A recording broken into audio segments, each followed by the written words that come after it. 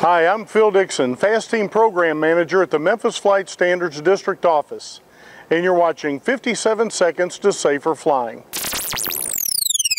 Before you take a family flight like this, you really need to spend some time doing this with an instructor. If you're about to fly these kids, you'll want to be red hot proficient. Not like the regulation minimums for a flight review proficient, but really, really proficient. Proficiency goes beyond yoke and rudder skills. How proficient is your decision making? Are you proficient at emergency scenarios? Here's an example. What happens in a Cessna 182 when you lose all your electrical power? It's night and you'll have to find an airport. The closest airport has pilot controlled lighting. How's that going to work for you?